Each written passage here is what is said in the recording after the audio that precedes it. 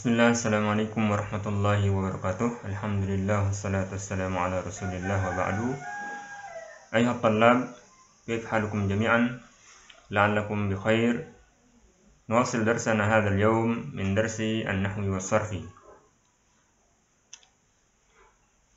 درسنا هذا اليوم الفاعل yang berkaitan tentang pelajaran hari ini adalah al-fa'il apa itu al-fa'il Al-fa'il ismun yadullu 'ala alladhi fa'ala al-fi'la. Al-fa'il adalah isim yang menunjukkan orang yang melakukan suatu perbuatan atau yang disebut dengan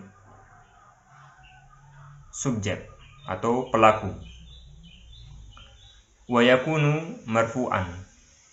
Dan al-fa'il ini dia selalu marfu' dia selalu marfu. Kemudian yang pertama marfu dengan apa?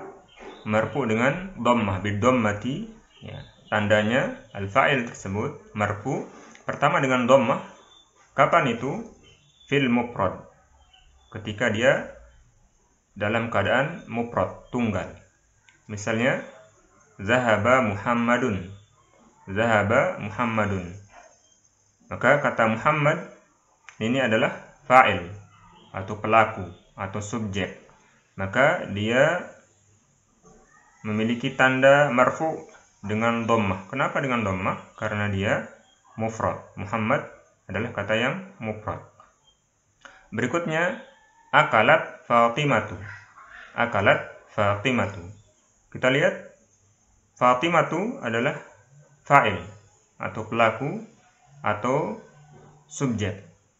Maka dia memiliki tanda marfu dengan dhammah. Kenapa dengan dhammah? Karena dia mufrad. Berikutnya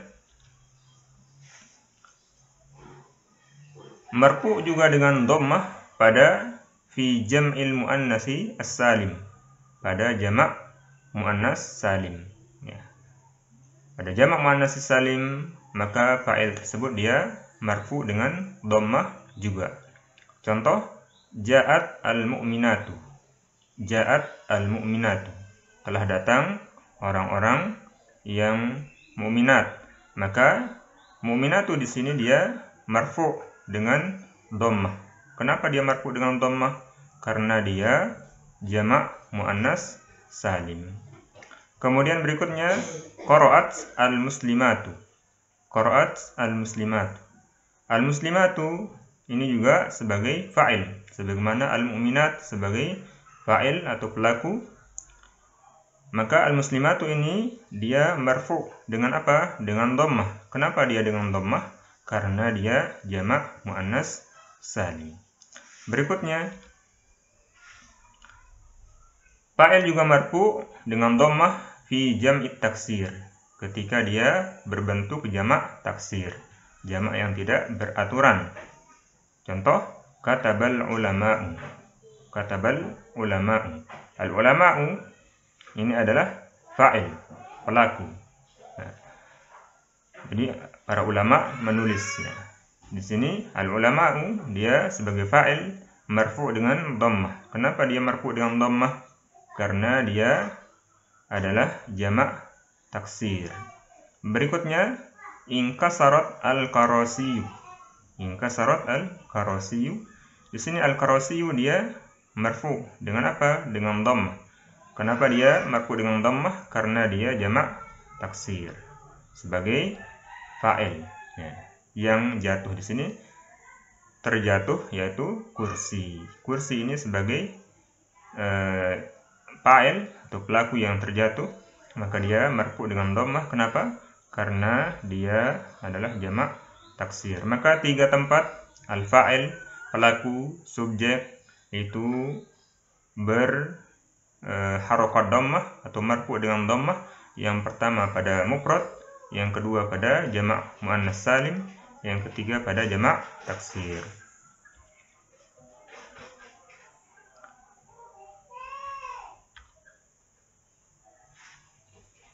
Yang berikutnya sebelum kita masuk di bagian yang ke atas kita lihat yang di bawah dulu. Yang berikutnya bil alif. Jadi yang berikutnya bil alif dengan alif. Jadi fa'il marfu dengan alif ya. Kapan itu? Fil musanna. Apabila dia adalah isim yang musanna yang ganda ya. yang ganda maka dia marfu dengan alif ya. contoh nama talibani nama at-talibani dua murid itu tidur maka At-talibani ini adalah fa'il, pelaku, subjek, dia marfu.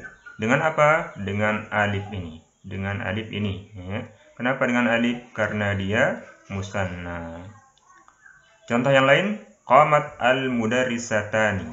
Dua guru perempuan berdiri. Al-mudarrisatani ini adalah fa'il, pelaku, subjek. Dia marfu. Dengan apa? Dengan alif di sini.